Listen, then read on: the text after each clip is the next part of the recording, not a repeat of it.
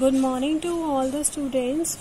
Now today we are talking about the first chapter of class 12 reproduction in organisms. Reproduction here the first term is reproduction in organisms. What do you mean by organisms? How can define an organisms? Organisms which are living organisms which have a particular lifespan. Now what is lifespan? Lifespan is the period between birth to natural death. The period between birth to natural death is called the lifespan of the particular organism. Now, organism can be of different sizes. They can be small, they can be big, they can be single cellular, they can be multicellular.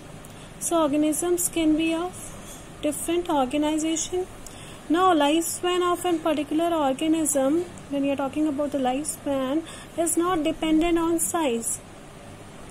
Now, lifespan is not dependent on size.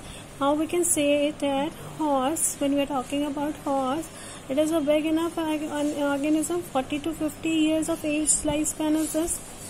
Parrot lives around 140 years. Banana tree, 2 to 3 years. Rose, 5 to 7 years. So, the size of an organism doesn't matter what is the lifespan of that particular organism. Now lifespan what are the different phases of lifespan? We will discuss in this. First is birth. Birth to till natural death. This whole duration of an organism is called its lifespan. Now after birth the juvenile phase.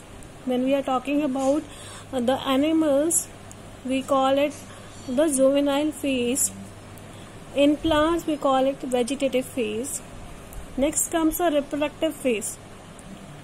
After reproductive phase, aging in animals and senescence when we talk about when we are talking about plants.